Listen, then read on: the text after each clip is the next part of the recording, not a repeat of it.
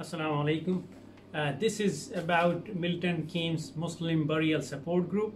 So, Alhamdulillah, all the mosque and Islamic centers have come together in this difficult time to support the community and especially support the families who are affected and uh, who have somebody uh, taken away from them by the will of Allah to in order to support uh, the whole process from uh, death to burial we have uh, made a group of volunteers from uh, different muslim organizations in milton keynes who will help and support uh, the process uh, uh, throughout uh, and give advice to the families and uh, cooperate with the hospital authorities the council the coroner's office and make it much easier for the family to go through this difficult time.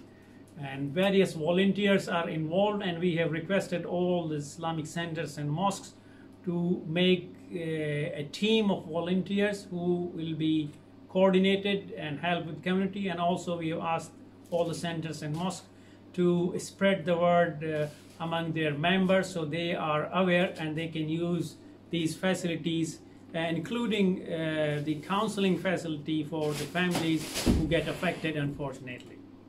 جزاكم الله خير. بسم الله الرحمن الرحيم ربي اشرح لي صدري ويسر لي أمري واحلل عقدة عقدة من لساني يفقه قولي السلام عليكم ورحمة الله وبركاته Alhamdulillah, our brother Dr. Dawar Abbas initiated the Milton Keynes Muslim Burial Group, where all masajid in Milton Keynes come together as one team of volunteers who would be handling burials during this COVID-19 pandemic.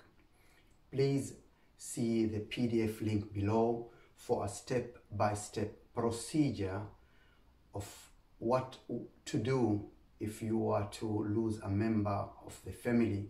May Allah give us good health. Ameen. Inshallah, we shall endeavor to work together and support the bereaved family during the difficult time of losing loved ones. We pray Allah accept our efforts deep from our hearts to help our community in this for His sake. Amin.